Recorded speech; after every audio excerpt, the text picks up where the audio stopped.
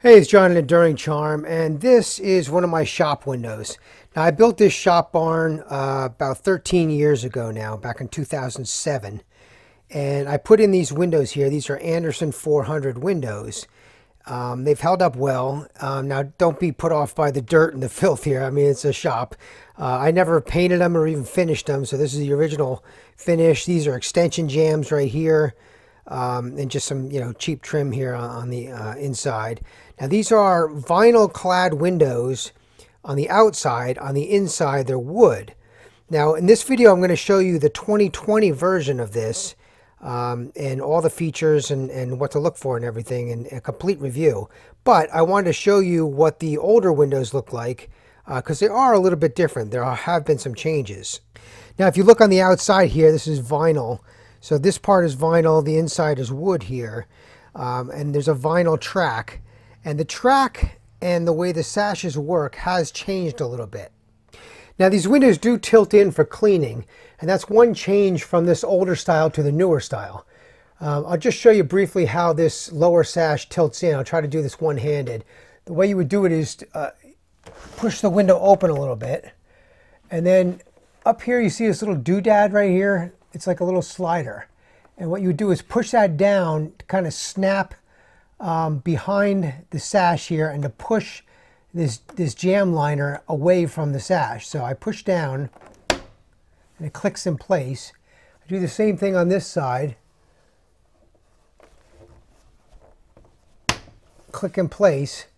And then I just kind of give it a pull with my hand here. I try to show this one-handed. It's kind of noisy. Needless to say, I don't tilt them in and wash them very often, but uh, that's the way it would work. And then to close it, you just push it back in place.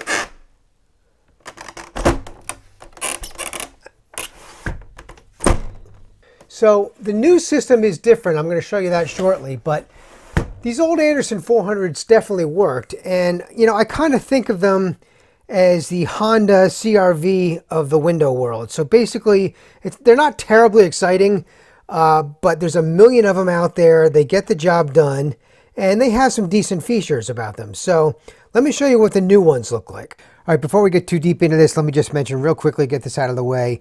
Uh, these 400 series windows are available in pretty much any size you could want. They have standard sizes you can pick from, or you can do custom sizes.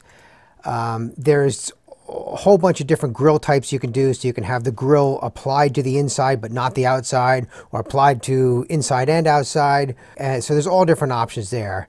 Um, you have an easy tilt, they call it, uh, lock system. So there's different colors you can get. Um, the grill patterns, you can choose from a whole different, you know, bunch of those. The There's different sash options. You have different glass performance. So for UV protection and uh, energy efficiency and that kind of thing you can pick from. Oh God, there's um, different styles of the window itself. So there's, you know, rectangular and there's arches and whatever else. Uh, you can get different colors um, inside and outside. So there's a million different options and uh, you'll have to you know, talk to a dealer in order to figure out what you want, but I'll just mention that they're all available. Now the boxes are well labeled. You won't have any trouble, you know, figuring out which window is which if you have a whole bunch of these that you've ordered. When you open the box, this is what you see.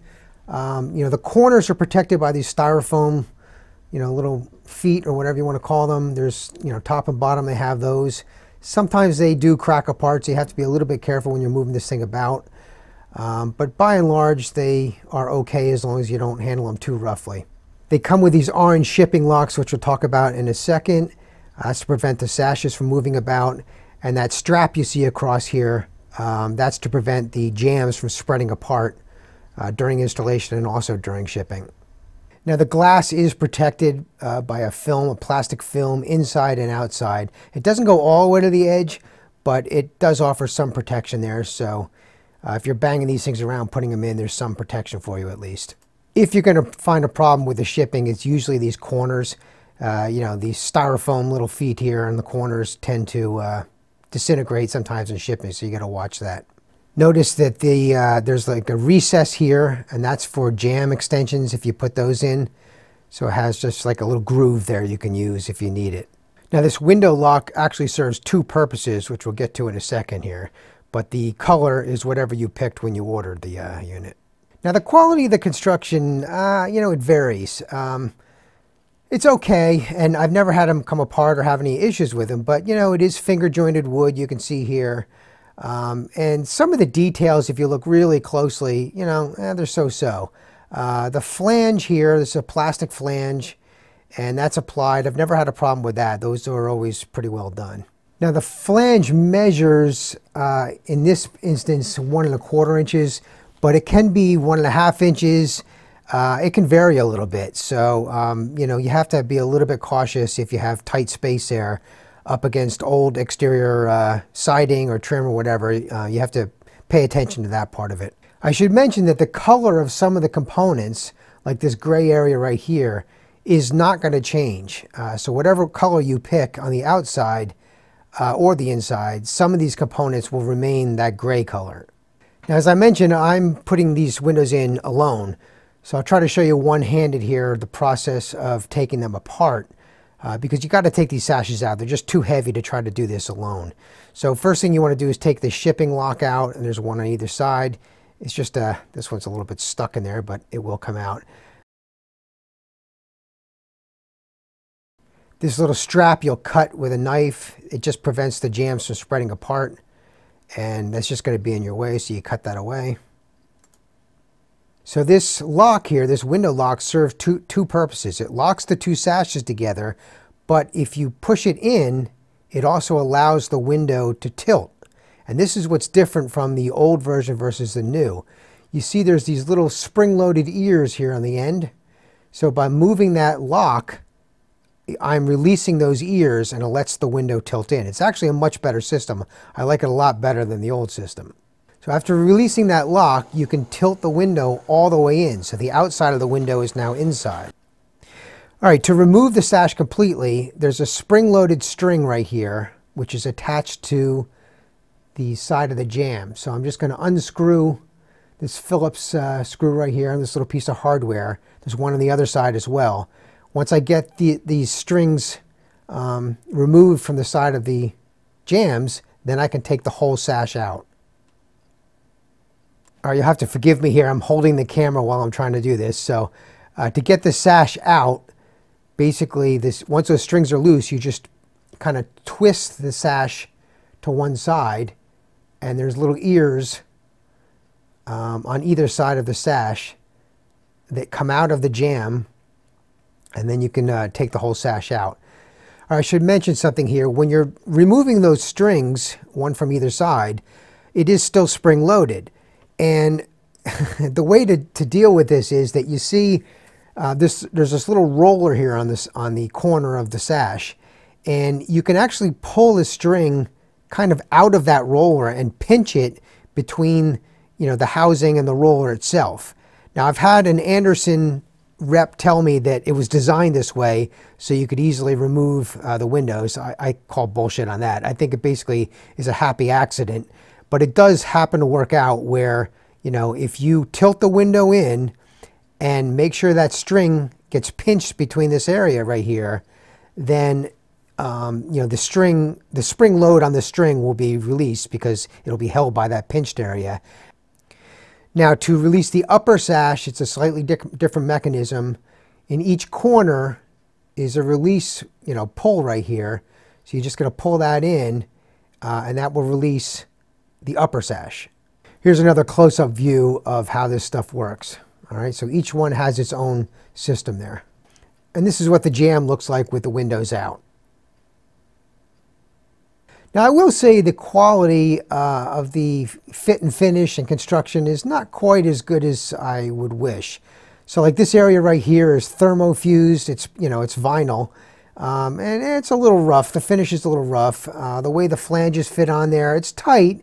And I haven't had any issue with it. But, eh, you know, I think some of the quality could be better. So when you install this window, of course, you're going to nail through the flange. And they do provide holes for that purpose. This is what the inside looks like. And again, eh, fit and finish are so-so, but um, it seems to get the job done, so I really can't complain. Now on these windows, the grill was applied only to the inside. So you're looking from the outside in, and this is what you would see. So it's not as nice, but it's a cheaper price to get it done. So the inside looks like this. That looks nice. But the outside, you know, looking into the house isn't going to look as nice. So what's the final verdict here? You know, these are good windows. They're a good mid-range window. I've never had any problems with them as far as leaks or anything like that. Um, you know, the fit and finish, I will say, could be a little better in some areas, but um, by and large, it's okay. Uh, installing these, I really don't have any issues either. You know, the flange can be a little finicky at times, especially if you have an older house where the walls themselves could be a little out uh, and there's not much you can do about it sometimes. So, you know, it can be a little finicky, but by and large, they work pretty well. Um, it's a good mid-range window. The cost um, of any window these days is pretty high though. So these particular ones that you're looking at here were probably in the mid $700 per window uh, just to buy the window. And, you know, so that's what a mid-range window costs these days. Uh, you can spend double or triple that easily if you want a higher end window. And if you start adding features to these, like, um, you know, more grills, different colors, whatever, um, you know, the price can increase pretty quickly. But, um, you know, if you need a mid-range window uh, that you know is going to work, um, I would say this is a, a good choice for you. Uh, you know, there are other manufacturers like Pella and Marvin. Um, the prices tend to be a little bit higher on those, and they also offer good products. Um, all the manufacturers, the major window manufacturers offer decent products now. It's just a matter of where you want to be in their range. So Andersen offers cheaper win windows and more expensive windows, and this is their mid-range. Uh, so when I compare it to a Honda, I mean, that's basically what it is. I mean, it's going to get the job done. It's really not super exciting, um, but you're not really going to have any problems. Maintenance is going to be good. Um, you can see from my barn, you know, they were installed 13 years ago. I have not had no problems, even though I certainly don't do a lot to maintain them uh, in the barn. So, um, you know, they're, they're good, decent windows. Um, but if you're expecting perfection as far as fit and finish, you're probably not going to get it here. You're going to want to look at a higher end uh, window. So anyway, that's a quick look at the Andersen 400 Woodwright series windows.